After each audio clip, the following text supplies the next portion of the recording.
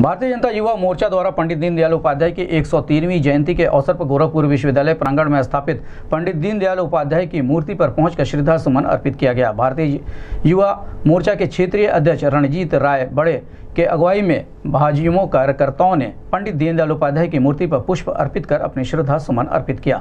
इस मौके पर भारतीय युवा मोर्चा के क्षेत्रीय अध्यक्ष रणजीत राय बड़े ने बताया कि पंडित दीनदयाल उपाध्याय के विचारों पर चलते हुए भारतीय जनता युवा मोर्चा उनके उद्देश्य और मार्गों पर अनुसरण करते हुए आगे बढ़ रही है और हम घर घर जाकर पंडित दीनदयाल उपाध्याय के विचारों को पहुँचाने का काम करेंगे। इस अवसर पर बड़ी संख्या में भारतीय जनता युवा मोर्चा के पदाधिकारी और कार्यकर्ता मौजूद रहे।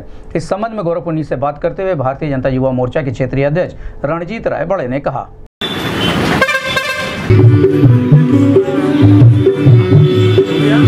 पंडित दीनदयाल उपाध्याय अमर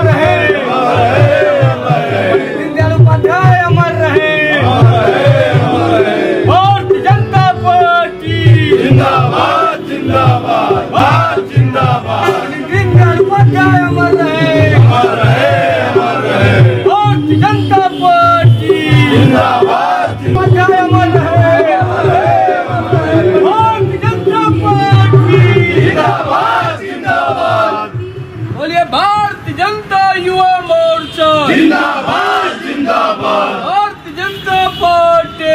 जिंदाबाद जिंदाबाद। दीनदयाल उपाध्याय अमर रहे। अमर रहे अमर रहे। दीनदयाल उपाध्याय अमर रहे। अमर रहे अमर रहे। दीनदयाल उपाध्याय अमर रहे। अमर रहे अमर रहे। युवा मोर्चा। जिंदाबाद जिंदाबाद। भारतीय जनता युवा मोर्चा। जिंदाबाद जिंदाबाद पंडित दीनदयाल उपाध्याय अमर रहे अमर रहे अमर रहे अमर रहे आज भारतीय जनता पार्टी जिन, जिनके पद चिन्हों पे चलती है, जिनको अपना आदर्श मान के राजनीतिक जीवन में काम करती है, ऐसे भारतीय जनसंघ के नेता हम सभी के मार्गदर्शक पंडित दीनदयाल उपाध्याय जी की जयंती के शुभ अवसर पर भारतीय जनता युवा मोर्चा के कार्यकर्ता, अपने महानगर अध्यक्ष पवन यादव जी के नेतृत्व में गोरखपुर विश्वविद्यालय के परिसर स्थित